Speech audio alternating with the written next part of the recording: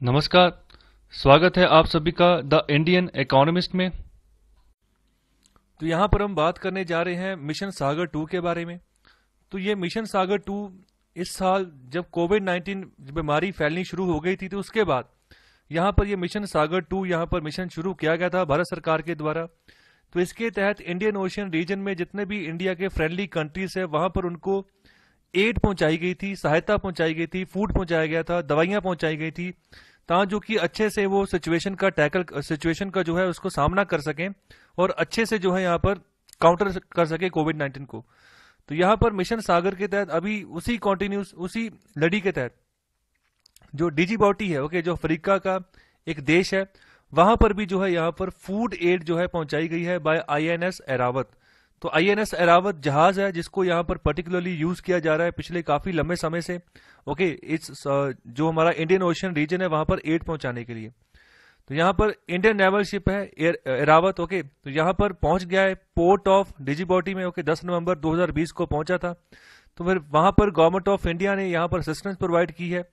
Friendly foreign country के तौर पर to overcome natural calamities and covid nineteen pandemic and towards the same I N S Airavat is carrying food aid for the people of Djibouti तो यहाँ पर एक handing over ceremony हुई 11 नवंबर को, जहाँ पर जो पोर्ट डिजीबॉटी था, वहाँ पर, जहाँ पर H E M E Ifra Ali Ahmed okay जो सेक्रेटरी जनरल है ministry of social affairs and solidarity of Djibouti उन्होंने फ़ूड एड को एक्सेप्ट किया है यहाँ पर भारत सरकार की तरफ़ से।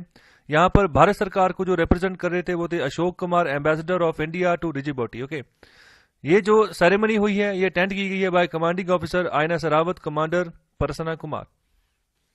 तो अभी थोड़ा सा जानते हैं सागर इनिशिएटिव के बारे में। तो यहाँ पर हमारे प्रधानमंत्री जी का एक विजन विजन है SAGAR. Security and growth for all in the region okay तो इसी मिशन के तहत जो है मिशन मिशन सागर टू जो है वो चलाया जा रहा है।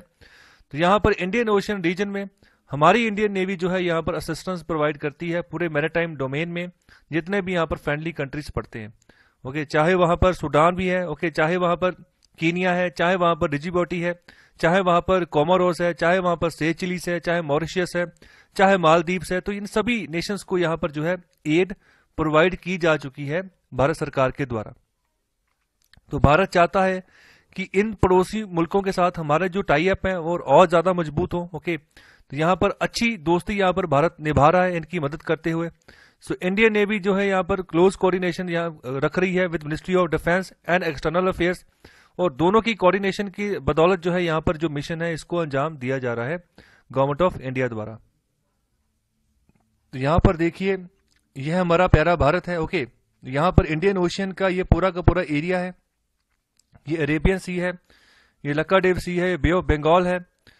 तो यहाँ पर भारत का जो वेस्टर्न पोर्शन है ओके यहाँ पर देखिए, ये अफ्रीकन कॉन्टिनेंट है सारा तो यहाँ पर मुल्क पड़ता है डिजीबोटी छोटा सा मुल्क है ओके यहाँ पर गल्फ ऑफ़ एडन के पास, ये यमन है, ये ओमान है तो इसको यहाँ पर थोड़ा सा इसके बॉर्डर कंट्री देख लेते हैं थोड़ा सा ये डिजीबोटी है ओके इसका बॉर्डरिंग है यहाँ पर इथोपिया के साथ और एरिट्रिया के साथ ओके साथ ही साथ यहाँ पर एक और मुल्क है जिसका नाम है सोमालिया ओके तो यहाँ पर सोमालिया के साथ भी जो है, इस डिजिबिटी का जो है, बॉर्डर है, ओके। तो यहाँ पर गल्फ ऑफ़ एडन को ये फेस करता है, और इस साइड जो यहाँ पर एरिया पड़ जाता है, वो है रेड सी।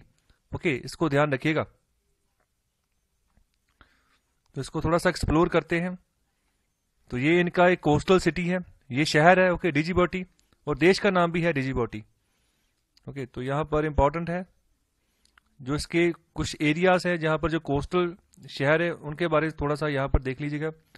खोर, अंगार और फगल। ओके, ये इसके कोस्टल शहर है। इसके अलावा सूडान की भी लोकेशन इंपॉर्टेंट है क्योंकि वहाँ पर भी एड पहुंचाई गई है। तो ये है सूडान, ये साउथ सूडान है, ये है नॉर्थ सूडान। इसको सूडान ही कहते हैं, ओके। तो इसकी कैपिटल है खारतूम और साउथ सूडान की कैपिटल है जूबा। तो इंपॉर्टेंट है, ध्यान रखिएगा। तो यहाँ पर बेसिकली यहाँ पर यही है ओके यहाँ पर जो डिस्कस किया गया है मिशन सागर टू के तहत सो डीजीबीटी में जो है यहाँ पर फ़ूड असिस्टेंस प्रोवाइड की गई है। तो इंपॉर्टेंट है तो यहाँ पर ध्यान रखिएगा एग्ज़ाम में पूछा जा सकता है कि डीजीबीटी के साथ कौन कौन से कंट्रीज़ हैं ओके ये कौन सी कंट्री है लैंड कंट्री है, जहाँ फिर इसको भी कोई सी सरफेस लगता है तो इसको सी सरफेस लगता है। तीन और से ये लैंड बॉर्डर है ओके एक तरफ़ से यहाँ पर ये गल्फ ऑफ़ एडन को जो है यहाँ पर टच करती है। सो आई होप आपको लेक्चर अच्छा लगा है। तो कृपया चैनल को लाइक शेयर और सब्सक्राइब ज़रूर करें। सो so, लेक्चर सुनने के लिए आपका बहुत बहुत शुक्रिया।